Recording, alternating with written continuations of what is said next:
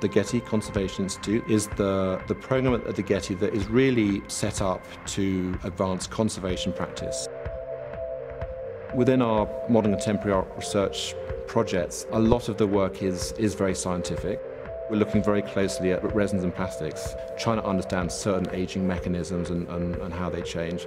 One of the other really tricky parts of, of conservation of modern contemporary art is, is the sort of ethical, philosophical dis discussions with from start to finish. We are taking a lot of the issues we grapple with um, out to the public. The initial idea was to showcase De Wain and talk about the, you know, the, the, the story behind the materials he was using and how he used them, how he created these monumental works. Gray Column being as bad as monumental as, as they get. Was I nervous when we, for the first time, took this 3,500 pound delicate object out with all these massive cranes and forklifts? No.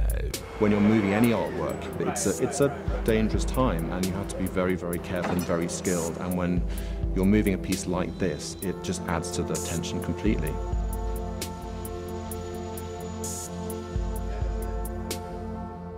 I think it's important as we go forward and we interact with artists working today to encourage artists to think in terms of how do they envision their piece surviving. To me, the most important aspect is that the work is honest, the investigations are serious, and each piece stands as, uh, as evidence of a particular moment. It's very special that, that Los Angeles and the art that came out of it has these uh, protectors of the knowledge, so to speak, and it's happened at a time when it wasn't too late. I suspect it's going to have a staggering impact, more than he realizes maybe.